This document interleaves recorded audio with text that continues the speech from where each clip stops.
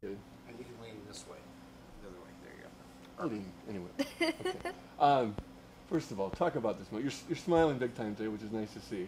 Last we talked, you had the whole finale since then, and it's been a lot of good times, I know. But last we talked, that was that was your last week, and it was kind of kind of a bummer for all your fans and, and for you, I'm sure, in lots of ways. Talk about life life since how have things Um, gone up.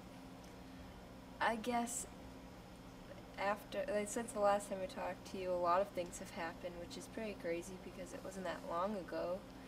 But um, once you get over being bummed out because you left the show, then you don't have that much time to think about it anyway. Because then we all came back for the finale, which was incredible. It was just just such an honor, an amazing experience to perform with all those people that we got to meet and and sing with, and and then um, after that we still had to do some press, and then some of us got to go home, not for long, and not even everybody, but um, I think half of us got to go home for like a day and a half and pack our bags, and then we went to New York and did um, did some publicity for M&M's, their new M&M's pretzel, and we got to come out of a giant M&M, which who doesn't want to do that? Sure. And then we came back here, and we've been rehearsing for, I think, over a week now, and it's coming along great. So we're all just really excited and and just looking forward to performing for the people who got us this far. This is for Mhm. the people who voted, and there are no judges on tour. It's probably the best part. Just the people that love what you do. Yeah. Yeah. You mentioned the, the M&M thing. When you signed up for this and you got to a certain level, are, do you get used to this kind of crazy stuff every week? Is it ever you ever used to, or is it always something like, wow? I don't know if I'll ever get used to it, but it's always exciting and it keeps you on your toes because you never know what's coming up next, and then you find out that you're gonna come out of a giant M&M, and you're like, "That's awesome! What's you know?" And then what? And so you're always just excited for what might come up next because you know when you first sign up for American Idol it's not like they get into the details of and if you make the top 10 and you go on tour then you'll get to come out of a giant M&M they don't tell you things like that when you first try out you just think okay I'm going to try out and if I'm lucky I'll get on TV and that's about it hmm hmm At the center of it all, though, at when, what, what point of the day when you're up on stage do you ground yourself? No, it's all about your talent and your voice. Is, is someone telling you that, or do you know that yourself? It all comes back to that probably for you on a daily basis at some point. Yeah, I think well, it's a, it's very important for all of us to stay level-headed, and and you can't get too excited or too carried away.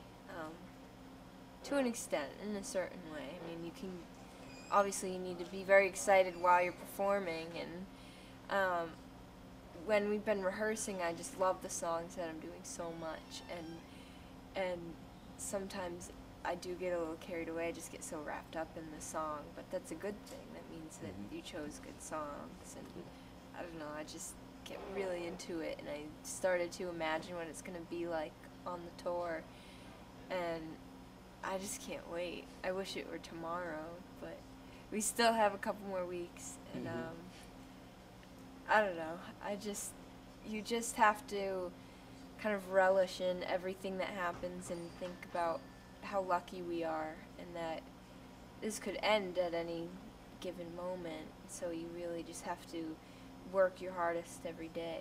hmm hmm You talked about getting carried away. and We were chatting before that, and so you're one of the very few artists. It seems like, in certain in certain ways, you're fearless with your style, with your you know lack of inhibitions on stage and choosing the songs.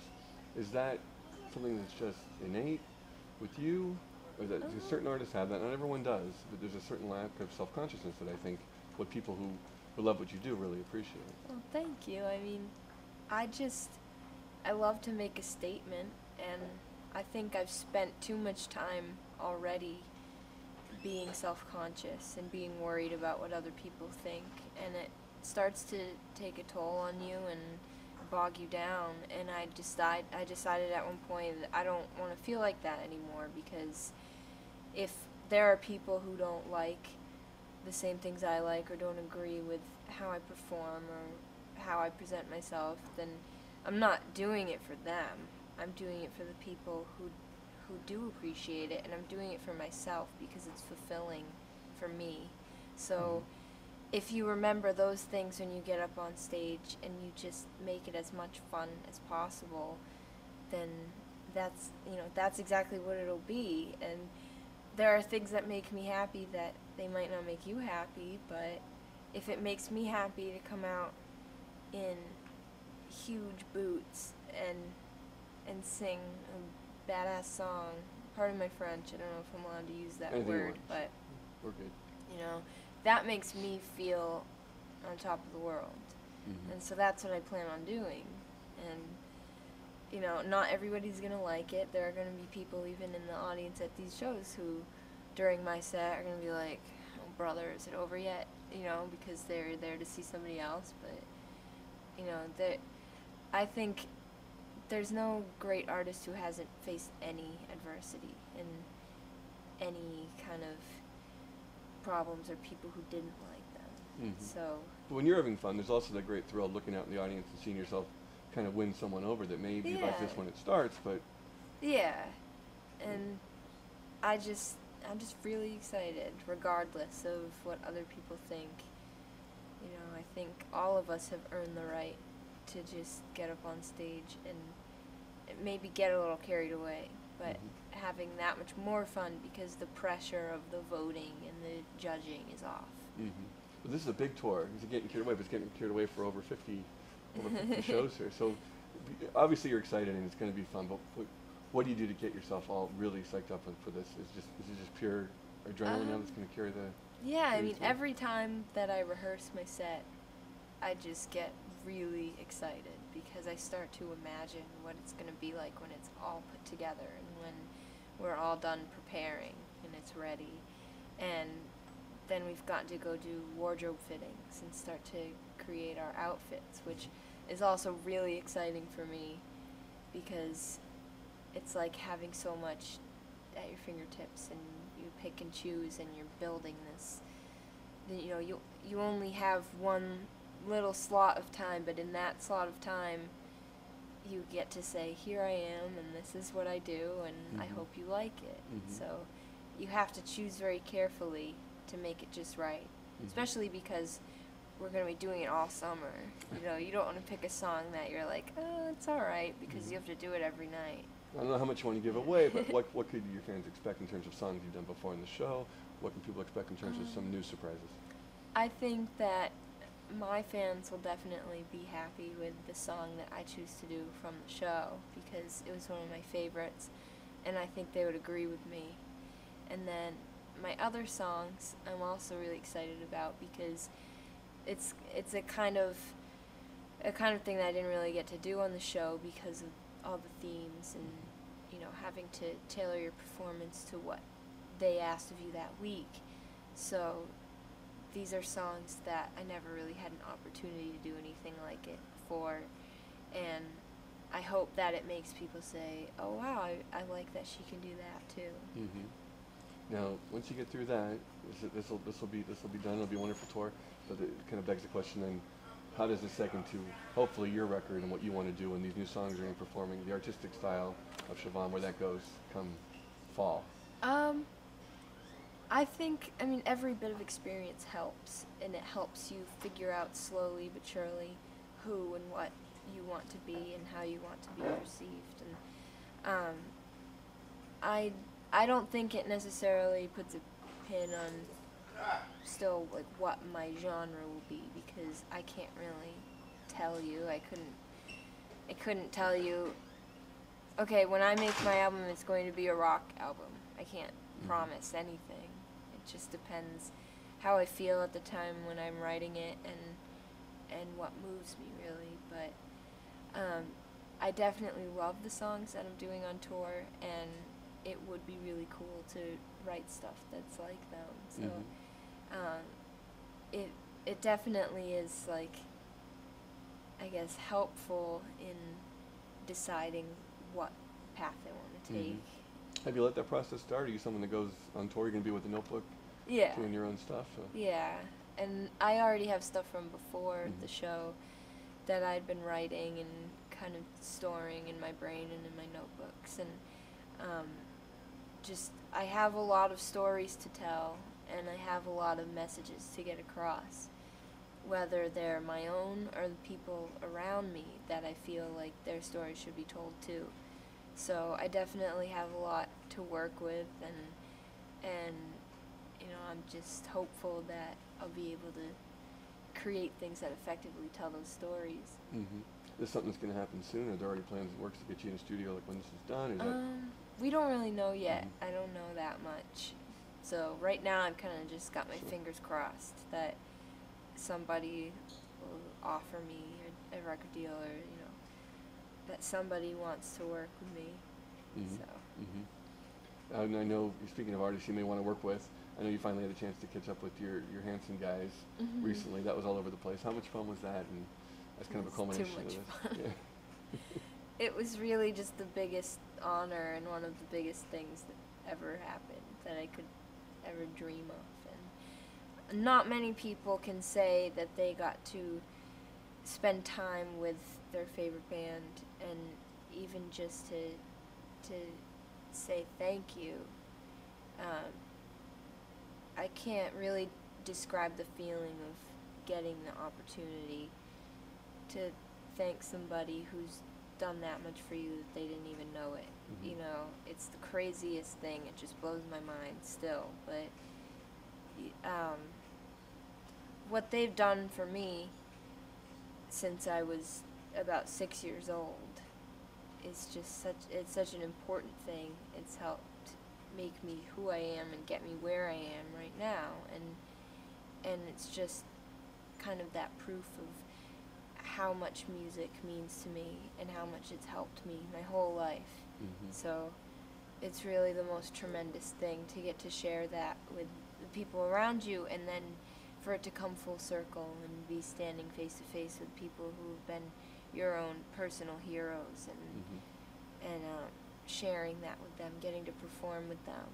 Especially one of the songs that I got to sing with them. It's called "Been There Before," and it's about how music is such a universal thing that that we can share and use to help each other just get on with life and cope with things that happen to you. And um, there's a lyric in the song that says, "When you can't get through it, you can listen to it."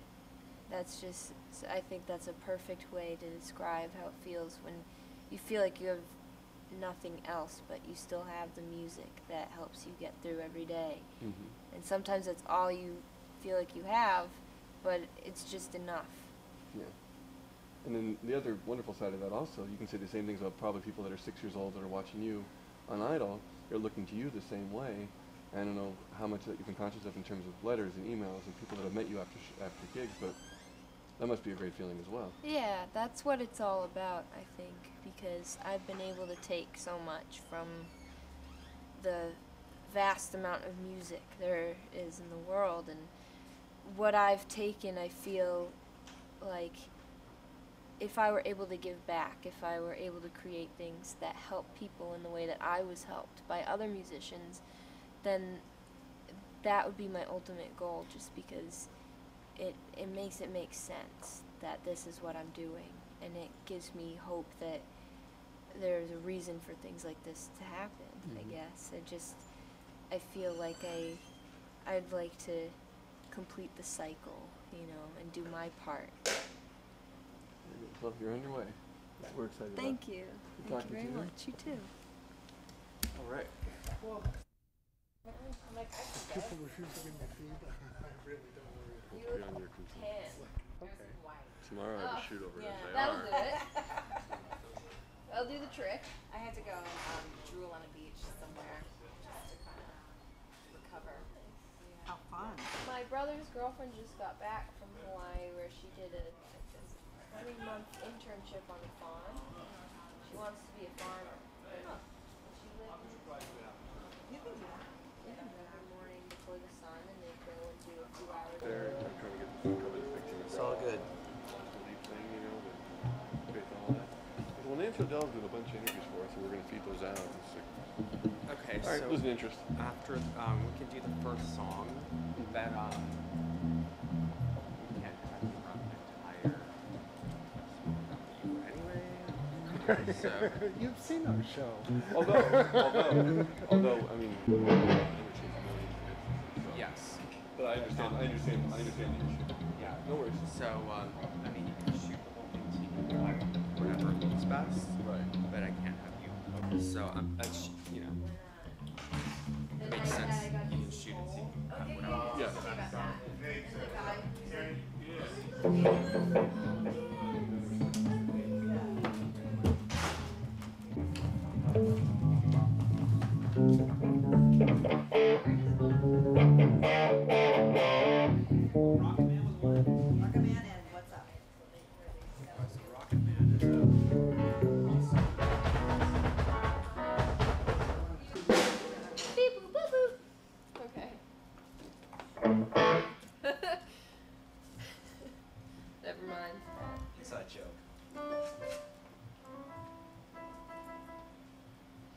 Not gonna play the intro either. I don't want to burn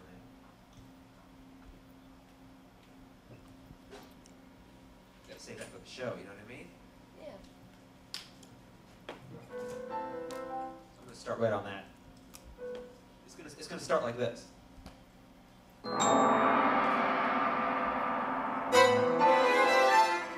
Right there. That's gonna that's where it's gonna start. Okay.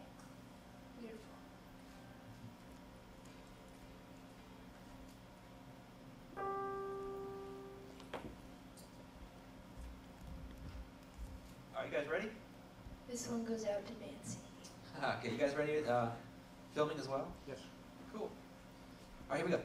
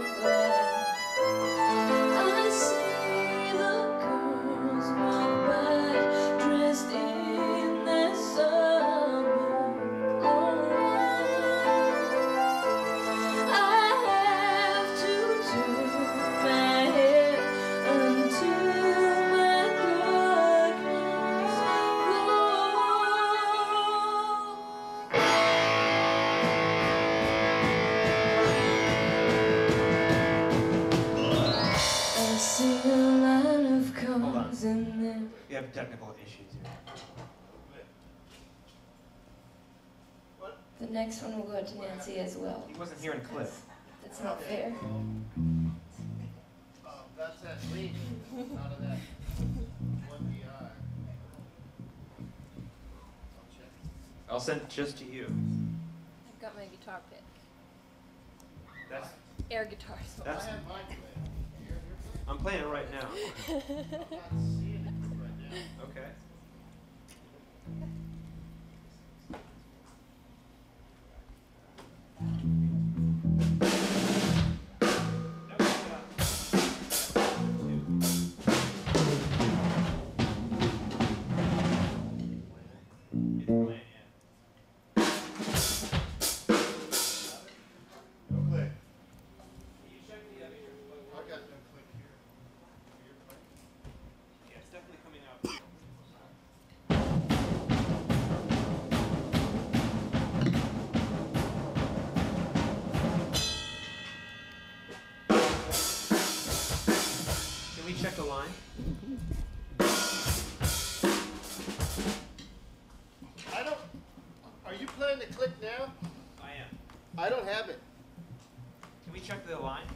The original click was. Do you see it? I'm sending it fan and power now. I'm sending it. That should make the difference.